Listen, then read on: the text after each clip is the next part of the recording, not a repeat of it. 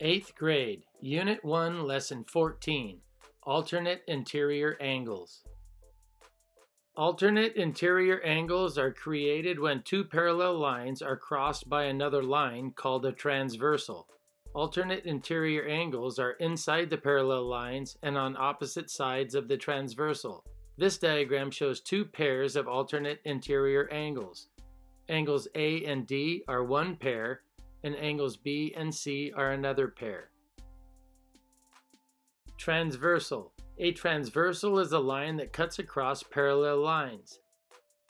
In this example, the transversal line is marked in red. Number 1. Use the diagram to find the measures of each angle. Explain your reasoning. A. The measure of angle ABC. I highlighted the angle ABC in yellow and they tell us that angle CBD is 50 degrees. Angle ABC plus 50 degrees will equal 180 degrees. So 180 degrees minus 50 degrees will equal the measure for angle ABC. Since 180 minus 50 is 130, angle ABC is 130 degrees. And we can double check that by adding it. 50 degrees plus 130 degrees equals 180 degrees. B. The measure of angle EBD. Well, they started out by giving us the measure for angle CBD, and that was 50 degrees. And the alternate interior angle for CBD is angle ABE, which will also be 50 degrees. And then we figured out the measure for angle ABC, which was 130 degrees. And it has an alternate interior angle as well, and that's angle EBD. So angle EBD's measure will also be 130 degrees. C. The measure of angle ABE. Well, we already found that. The measure for angle ABE will be the alternate interior angle of angle CBD. And that alternate interior angle is ABE, so that will also be 50 degrees.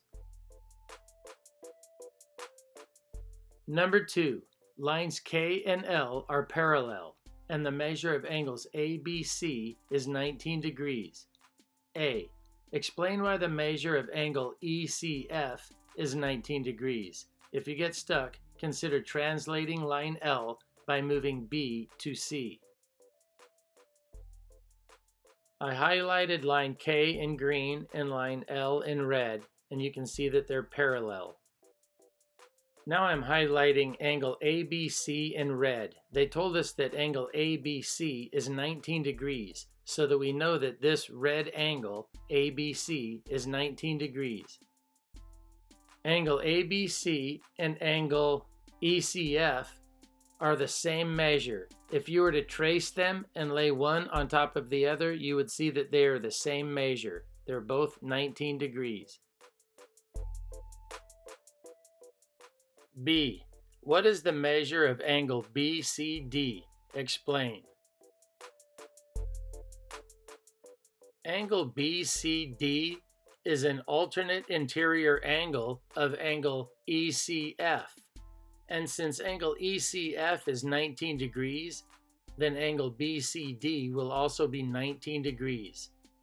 I went ahead and labeled all the angles with the measure of 19 degrees. Number 3. The diagram shows three lines with some marked angle measures. Find the missing angle measures marked with question marks. Well, 70 plus the angle labeled with the question mark to its left would total 180 degrees. So 180 degrees minus 70 is 110. So 110 degrees plus 70 degrees would equal 180 degrees. This question mark represents 110 degrees. Now all we have to do is identify the alternate interior angles. First, let's find the alternate interior angle for 110 degrees.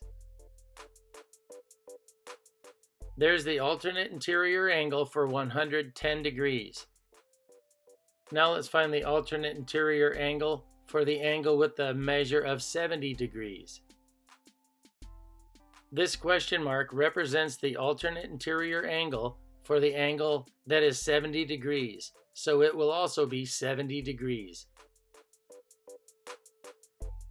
Now on the other side, this question mark represents the alternate interior angle for the angle marked 53 degrees. We can switch this question mark now to 53 degrees. Now these last two question marks, they represent alternate interior angles of each other. In order to find the measurement for those, we need to ask ourselves, what number plus 53 equals 180? That's the same as 180 degrees minus 53 degrees equals 127 degrees. So both of these question marks represent angles with a measure of 127 degrees.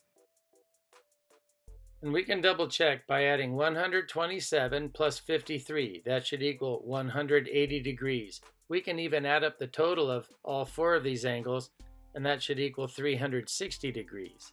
53 plus 127 plus 53 and plus another 127 should total 360 degrees. Number 4. The two figures are scaled copies of each other. A. What are some ways that you can tell that they are scaled copies? Here's one way to tell that they're scaled copies. Angles A and P are corresponding angles. This line in red above angle A is one unit long, and that same line above angle P is three units long. That's a ratio of 1 to 3. Angles C and R are also corresponding angles, and the line I've drawn next to angle C is one unit, and the line that I've drawn next to angle R is three units. That's also a ratio of one to three units. You can see I've drawn a few more lines. One is two units long compared to six units long, and another is three units long compared to nine units long. Their ratios are two to six and three to nine. These measurements all prove that all the lines on figure 2 are exactly three times longer than the lines on figure 1. And that proves that they are scaled copies.